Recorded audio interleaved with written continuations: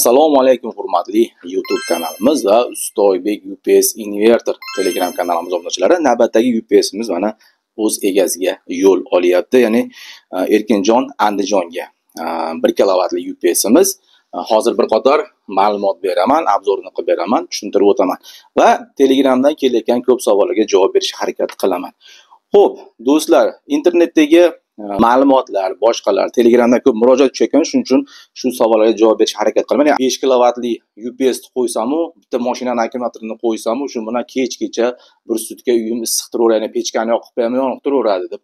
Do'stlar internetdagi ko'p ma'lumotga ishonavermanglar chunki atta e, yozib qo'yinglar feyk xabar feyklar ham bo'ladi.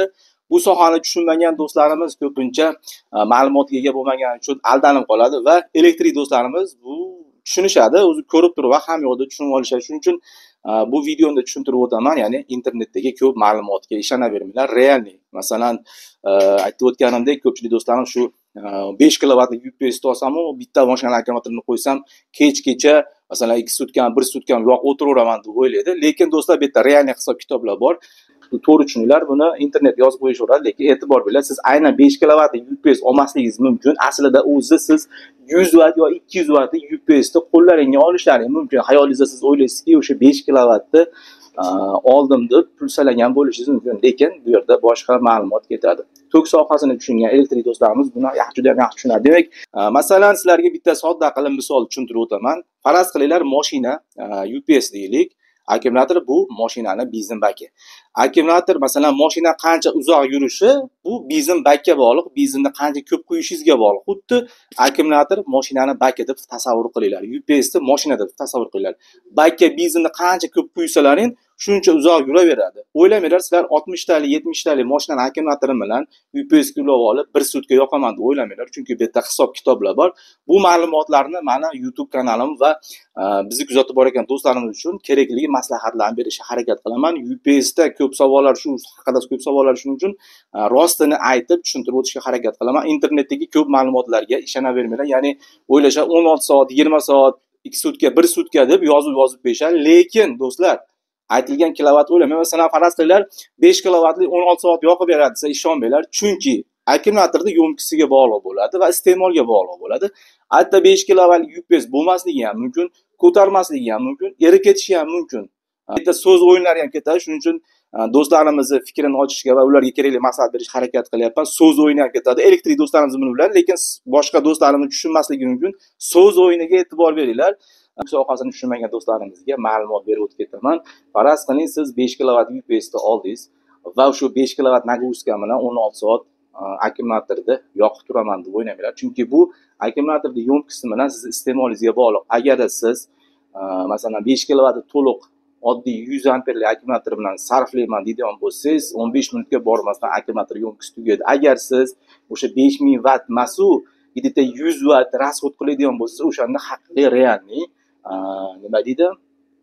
Shu o'n olti soat sakkiz soat to'qqiz soat yoqishingiz mumkin. Lekin o'ylamang besh kilovat nagruzkani ulab berib o'sha yuztalik yuz elliktalik akkumulyatorga ulab qo'yib kechgacha yoqaman deb o'ylamanglar.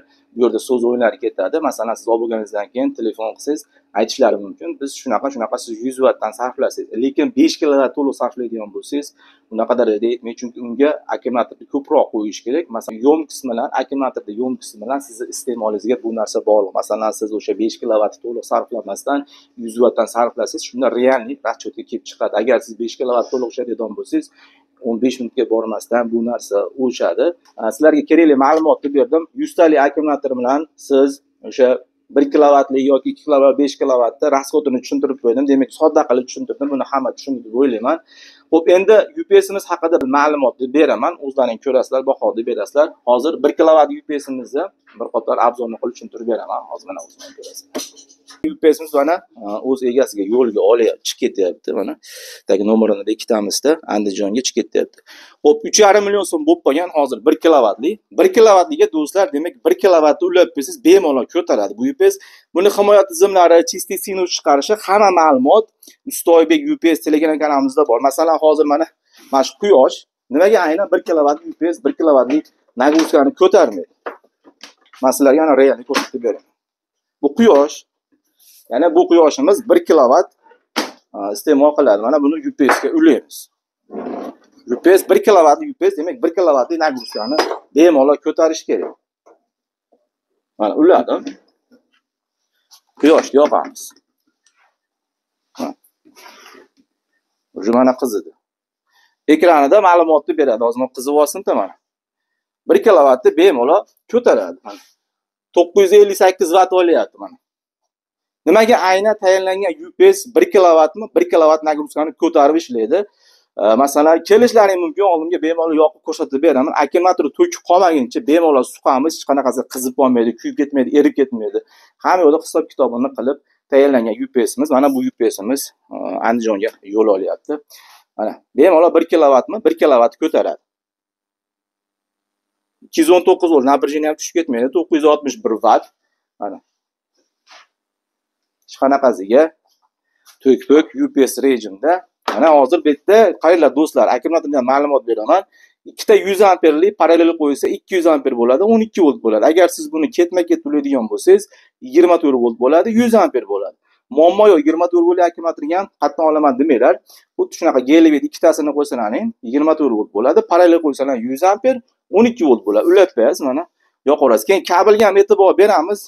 Bir kilovatga qancha to'y o'sha где sakson yuz amper oladigan bo'lsa kabel ham ko'tarish kerak. Hech qanaqasiga ingichka to'rtli oltili mis kabel e, bundan chiqadigan расходni nima deydi ko'tarmaydi shuning uchun hamma yoqda hisob kitobini qilib mana mana shunaqa qalin kabel qo'yiladi bir kilovatlik upsimizda mana. Ikki xil turdagi akkumulyatorlar zaryad qilish qobiliyatiga ega. Glv avtomashinalar akkumulyatori e, avtomashinani akkumulyatorni boshqacha zaryad qilish kerak. Bu glv akkumulyatorlarni boshqacha zaryad qiladi. Chunki chuqur tarzda zaryad qilish kerak bo'lmasa полностью qonni to'ymaydi. Demak buni полностью obzori e, ustoybek ups telegram kanalimizda yoki youtube kanalimizda hamma ma'lumotni beryapman demak navbatdagi mana upsimiz o'z egasiga yo'l olyapti. Demak sizlarga kerakli maslahatlar berdim. Laykni va kommentariyaga o'zlaring chiroyli fikr yozishni unutmanglar. Ustoybek ups telegram kanalimizga o'tib o'sha yerga obuna bo'linglar chunki u yerda sizlarga kerakli maslahatlarni kerakli informatsiyalarni berib borishga harakat qilyapsizlar. Mana usta ustoybek bo'ldi. Hozircha xayr demayman inshaalloh tez orada ko'rishib qolamiz